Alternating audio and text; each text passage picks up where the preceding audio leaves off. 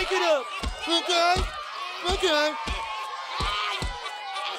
All right, boys, now what is this fighting all about? He gave me AIDS.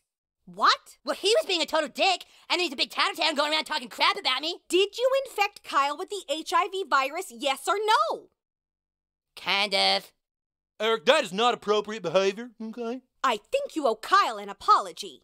I'm sorry. An apology? Sorry for what, Eric? I'm sorry for giving you AIDS, Cal. That's better. And now, Kyle, maybe you should also admit you were wrong for tattling. What? He infected me with AIDS! Well, Cal, I guess we're even now. Cal, where are you going? I'm going to break everything that you own.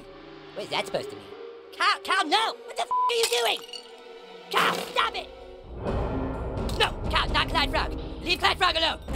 No! Ah! Clyde Frog! No, no, not the Xbox, Cal. Not the X. Wait, just wait a second!